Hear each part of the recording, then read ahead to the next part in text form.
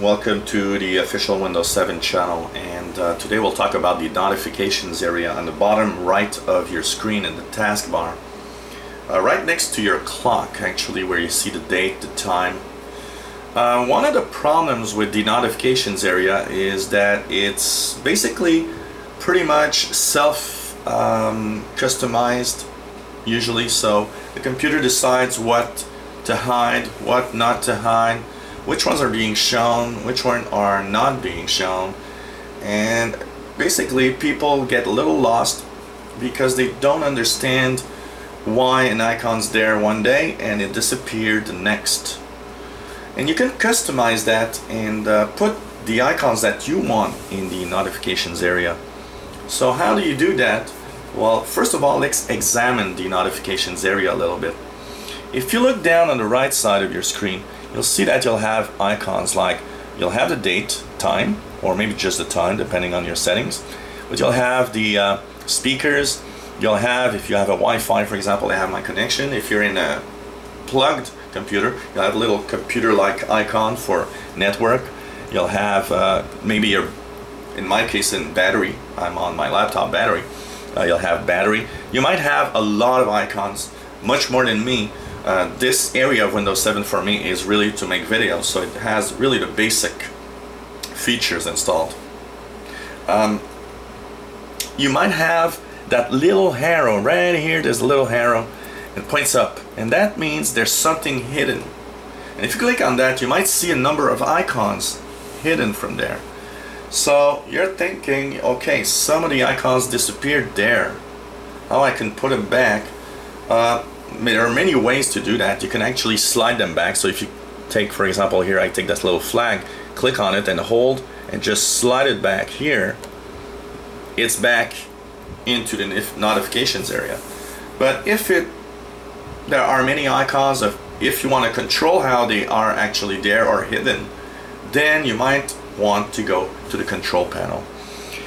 If you click the start button, go into the control panel, make sure that you are in the um, icon view, not the category view. So you'll click on the upper right side and use large or small icons depending on what you want to have the full view. And there you'll find that in the list you have notifications area icons. You click there and here you'll see a list of all the icons that are available on the notifications area on the right side. Now, if you don't have too many of them and you want to have them always there, you can click on the bottom left, always show all icons and notifications on the taskbar, and that's gonna just make them permanent and always be there, never be hidden. And if you have four, five, six different icons only, that could be a nice option. If you have 50 icons, that's a bad option because you'll fill up the taskbar with icons from the notifications area. The notifications area is there to help you um, in a way because it is kind of a live spot on your taskbar where it's showing you everything that's working, that's active right now, right away.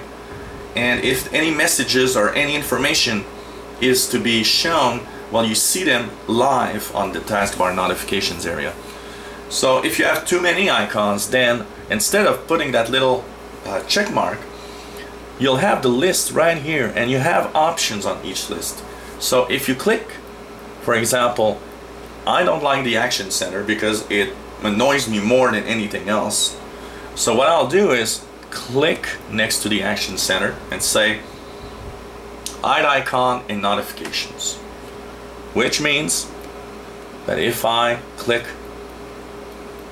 that option, you now see that little arrow just showed up and the little flag is there behind it. So any icons that you don't want to have that information displayed, basically that's what you'll want to do is simply put it hide icon and notifications and you won't be annoyed by whatever information is giving you.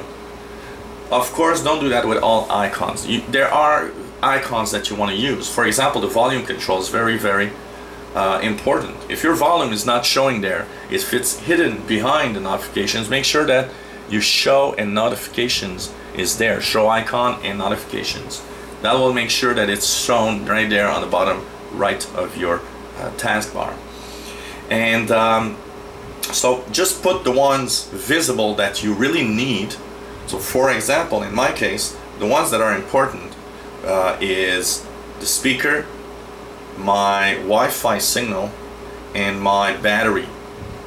These are the three that I really like.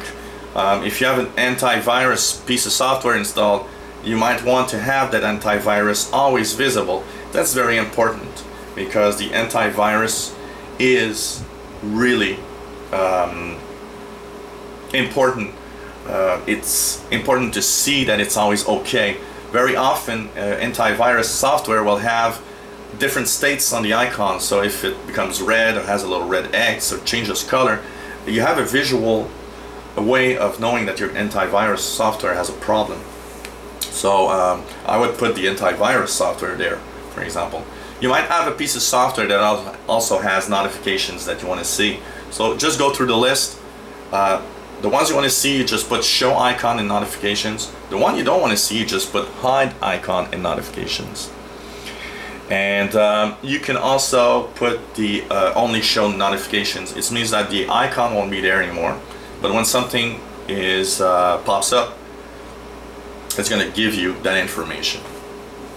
So that's how you customize the um, notifications toolbar the part of the taskbar at the bottom right um, in the control panel if you enjoy our videos, well, click the subscribe button at the top of the screen. You'll be informed when new videos are online. If you have any comments, questions on what you've seen, let us know. Um, you might have a video of your own that you'd like us to talk about a feature of Windows 7. Let us know. We'll try to put a video online for you and you'll be helping others at the same time. Uh, this is what's cool about YouTube, the internet and all, is that you can we can all help each other. And this is one of the great, great, great forces of um, YouTube videos. Thanks for watching. If you have that Windows 7 machine, hey, subscribe to our channel because you'll be learning on how to use your computer to the maximum. And if you have uh, um, that machine, well, take a look at our videos that are already online. And I hope you come back to the official Windows 8 channel, Windows 7, sorry.